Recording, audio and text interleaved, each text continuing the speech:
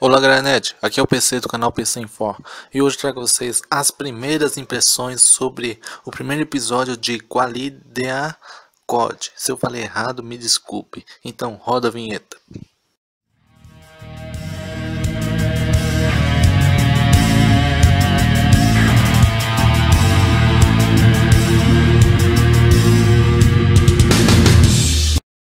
O anime se passa em um mundo onde a humanidade luta continuamente contra monstros. Esses monstros invadiram há várias décadas atrás e algumas crianças hibernaram para escapar da invasão.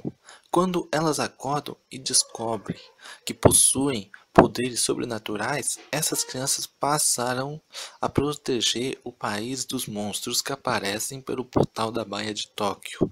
Eu tô falando monstro porque eu não consigo falar o nome verdadeiro dos, dos monstros. Então, me desculpem se vocês querem esse detalhe. Então, voltando. De começo, o anime nos apresenta um protagonista que é um pouco grosso com a sua dupla, não deixando ela, ela, ela, ajudar ele a lutar contra os monstros que ameaçam o país. Ele vive dizendo que só ele é o bastante e que os outros são tudo idiotas e babacas. O que eu tenho a falar desse protagonista? Eu não gostei do jeito que ele trata a canária, que é a dupla dele, e como ele trata os outros. O estranho é que ele trata muito bem os adultos, mas o pessoal com a mesma idade dele, ele trata como se fossem idiotas.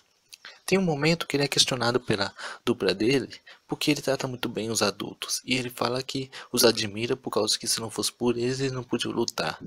Mas esse é o primeiro episódio. Só espero que nos próximos eles melhorem a personalidade dele, ou ele se toque, ou apresente um trauma para ele se, ser desse jeito. Não é um péssimo anime, mas também não é um excelente anime. O que nós podemos fazer é aguardar os próximos episódios. Na descrição vai estar o link para ver o primeiro anime. Muito obrigado por ver meu vídeo. Compartilhem, comente e curta. Vejam o canal dos meus parceiros, se inscrevam-se e tchau!